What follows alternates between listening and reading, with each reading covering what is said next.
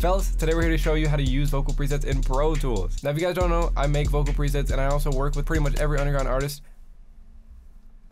in existence. uh, to pretty much give you their vocal preset. It's a very big W. Vocal presets are the next big thing. They're fire. A lot of people don't know how to use them on Pro Tools. I already did a video on Logic, so if you use that, and especially FL Studio. So click Mr. Card up here. hey! If you, if you want to know how to do that. if you guys don't know, this is Blaykay. He's a YouTuber, producer, engineer, all of the above. I am the guy who ports the presets from FL Studio, the ones that he makes and gets from the underground artists, and I put them in Pro Tools and Logic. So you just download your preset from Logan.com, of course. And as you can see on the desktop, we have the Pro Tools Deep preset. And if you can't tell, this is on Mac, of course. So first things first, you want to go to your Pro Tools folder, which you can find in your Documents folder. And then once you're there, you're going to see this Track Presets folder, and you just click on that. And then you go to Avid. And then from there, you just want to click on your preset and then drag it on in there, like so.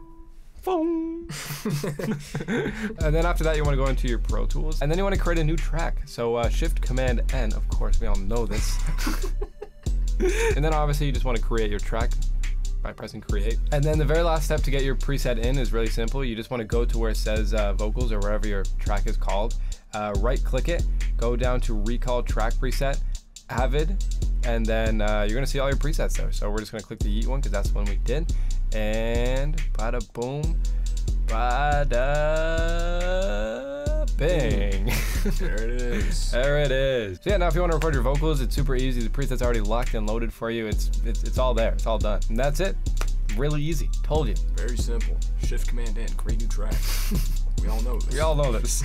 but anyways, yeah, if you guys learned anything, make sure you guys press subscribe. We're super close to 50k, so make sure you guys make sure you guys do that. make sure you guys drop this up to Blaykay as well. He's been putting a lot of work behind the scenes, so he deserves it. And I'm gonna be uploading soon.